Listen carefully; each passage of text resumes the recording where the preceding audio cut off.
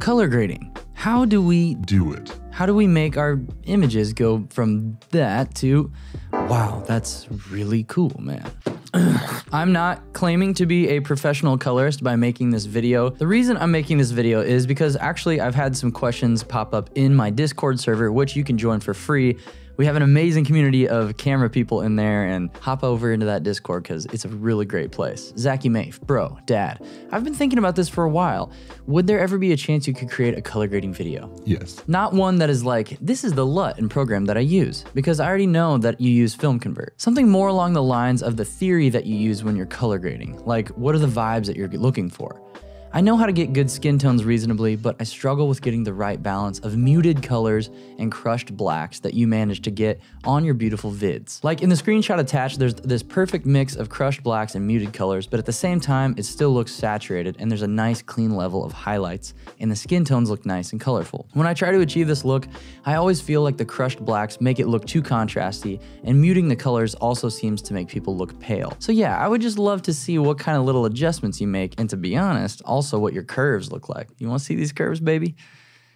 That'll be in a, private video for Discord only. Sorry. And that's the footage we're gonna look at today. It's this vlog that I posted that was shot on the Sony a7S III, this camera right here, in S-Log 3 S Gamut 3 Cine. Those are the settings that I use on my camera to get the most natural, beautiful looking color. Before we hop into Premiere and show you guys my methods of color grading log footage with for basically any camera, I first need to give you a little bit of context and we gotta talk about exposure. You'll have much more freedom and ease of color grading when you expose correctly. Specifically on my A7S III, I have my zebras set to 55 plus or minus one. So when I'm filming with the A7S III, for instance, filming myself or a, a subject, I try to get it so that the zebras are on my subject. So like if I'm filming myself right now, there are zebras on the side of my face, and that tells me that my face is just slightly overexposed. So basically by shooting that way,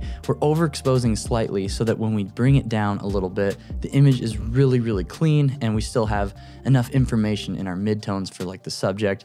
And then the Sony dynamic range is really, really nice. So we still get good highlights and shadows just an overall great image because we're exposing right in that middle ground where Sony likes it. If you don't have a Sony a7S III or you don't want to try this zebra thing that I do, feel free to try something like false color if you have an external monitor. So just for like a quick before and after to demonstrate like the tones from that vlog that I released, here is the before this is S-Log 3, it's super flat, and then this is with film convert and lumetri applied. Yeah, just look at this, look at this A7S3, man. Like he's just got so much detail and then the, the, highlights still look good. You can see some blue sky and some clouds back here and this was a very very bright day. Let's start with this shot here which was specifically referenced in the discord. So that's what it looks like after I graded it. I will just go ahead and make a new adjustment layer and, and just clear it out so I can show you guys from start to finish how I would color grade something like this. So this adjustment layer here is fresh. It's as it clean as a baby's butt cheek before the poops. So I applied film convert nitrate to my adjustment layer. And the very first thing you do is you add the camera. So you have to download your camera profile, but it's free from their website. So I'm using Sony, using the A7S Mark III, and I'm shooting an S-Log 3 S Gamut 3 Cine for maximum dynamic range and accurate color. Then you apply it, and boom, bada bing, bada boom, you got something right off the bat that looks better than just super flat images. This is a great start, and now we can just kind of fine tune it to make it look how we want it to look. I want it to have more of a warm vibe. Like you're invited. You're is is warm and sunny and cozy up in here. We got good vibes, positivity only, and that's kind of what I want to go for when crafting this image. So like I talked about earlier, we shoot a little bit overexposed using that 55 plus or minus one zebra tool. The first thing I like to do is just kind of dip the exposure down a little bit. And I'm specifically just like kind of looking at the overall image and skin tones. I never want my skin to look too dark. And then the very next thing I like to do is kill all the grain. I'm not really a fan of grain these days because it just kind of adds a layer between the viewer and the video, in my opinion. I think grain can look really cool, but I'm never really pumped about it in my videos, so I just keep it clean. And also I add about 5 to 7% softness because the A7S III, although it's only a 12 megapixel sensor, it is extremely sharp and I like to just take a little bit of the edge off. Now what I'll do is start cycling through all of these film stocks that Film Convert offers. And this is kind of the beginning of finding the vibe that we want to go for. And like I talked about, warm, inviting. So what I do is just hover my mouse over this and then I use my scroll wheel to just go down. And I'm just looking at the image and as soon as one kind of catches my eye, that's where I'll start. Ooh, Provia actually looks really good. I don't think I used that in the original video, but that looks nice. Okay, we'll go with Provia, and I'm just gonna scroll back the temperature just a little bit. The next thing I do is I go down to here to color correction, and I bump the saturation a lot. I like to add a lot of saturation to make it feel alive, depending on what the project is. That looks sweet. We're at 150. S-Log 3 is so flat and so desaturated, so you gotta really pump it back to life. And when I'm messing with the temperature, I'm looking mostly at the white information in the image because I don't want that to look yellow or orange. I want it to look mostly natural white, but we still have some nice warmth in the skin and in his hat and his arm. It, it looks like a happier image, you know? And this is the before so far and the after so far. Another thing I like to do is just kind of mess with this tint slider. Um, I used to use this a lot when I was color grading with different cameras, Luckily, the Sony a7S III has just like really accurate color from what I've experienced, so I usually don't have to change it very much. I'll probably go negative five, just so my brain feels okay. Next thing I do is I mess with these color wheels, and these are really powerful in Film Convert. Sometimes I'll just kind of like dip into the shadows here just to kind of see what it looks like. I kind of go back and forth to see where I want the shadow tone to land. And it's, I mean, it's usually typical, like it's kind of that teal orange look. And then once I find the teal or blue tone that I like, I'll just back it off a little bit like that. So it's just subtly affecting the black tones as you can see. Then I'll use this slider here to start to push the shadow values down to where I like them. And like I said, I'm, I don't wanna go below zero IRE. I don't want them to be actually crushed. I just want them to look nice and contrasty and not fadey. I'm not a really big fan of that like Instagram faded film look. And then also I'll tend to mess with this highlight slider here, which is very powerful and can a lot of times get you a lot of information back if something's blown out. And we'll show an example of that in a little bit. But the highlights here are already looking really good.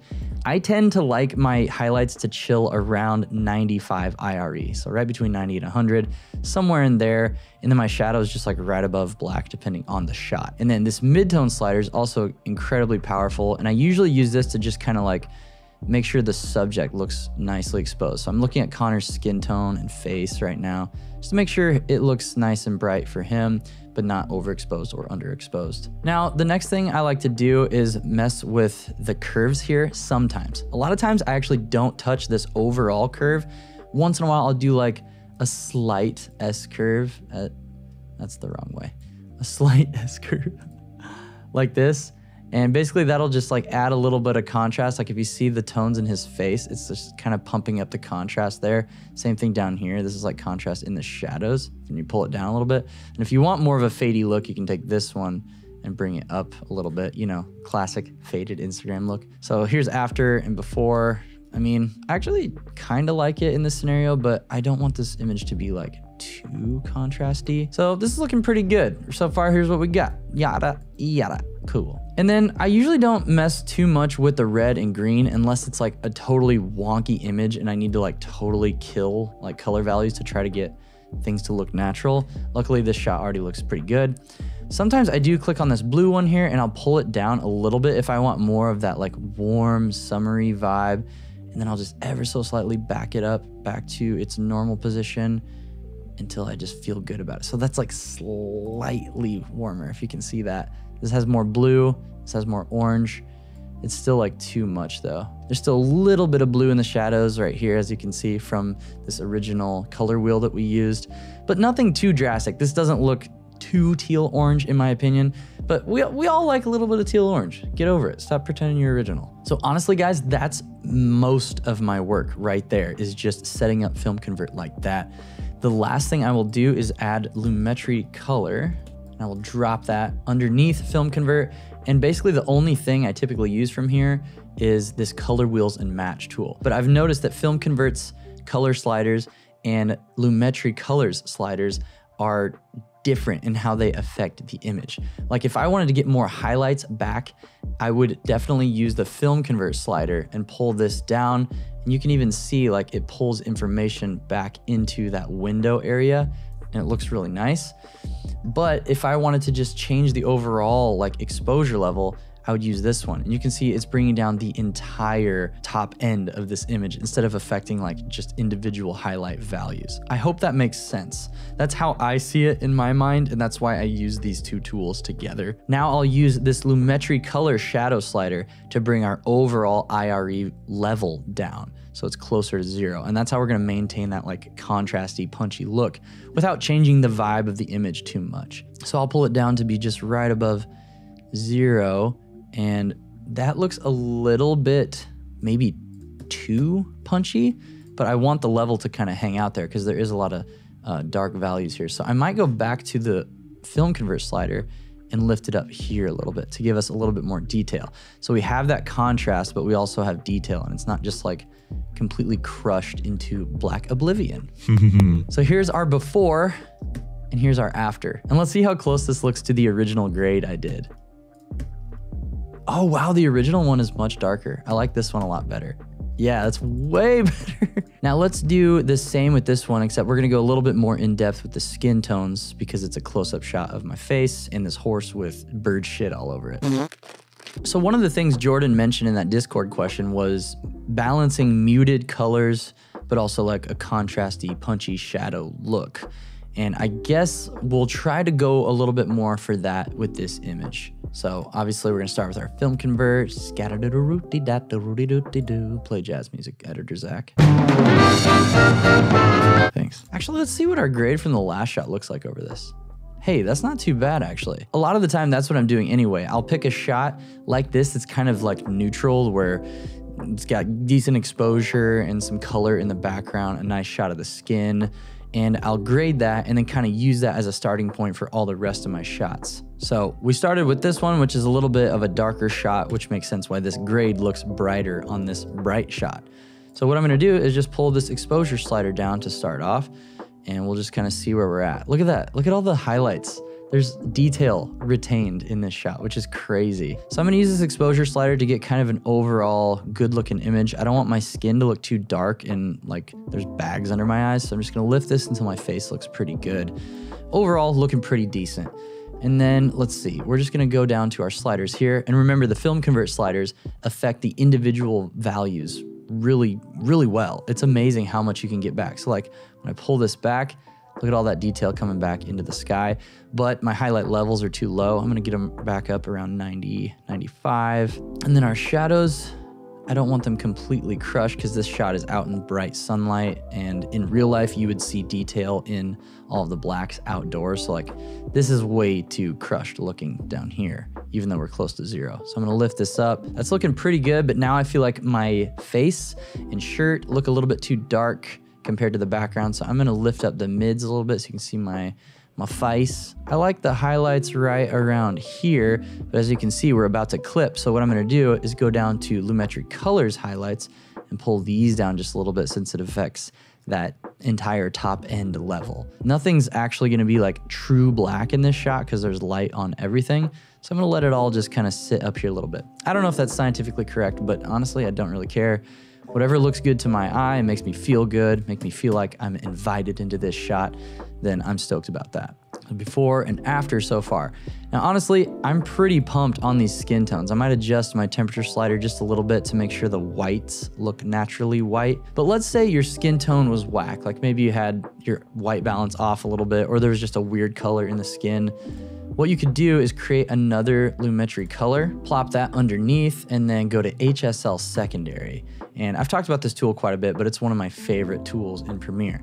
So right by set color, click this color picker, and then select an even part of the skin that looks like mostly the same color as the rest of the face select that and then hit show mask. And now your levels here on both your scopes are gonna reflect only what that mask is selecting. So what you wanna do is come over here and just kind of spread these out a little bit to capture some more detail and then just kind of like manipulate them around until it's only selecting your face.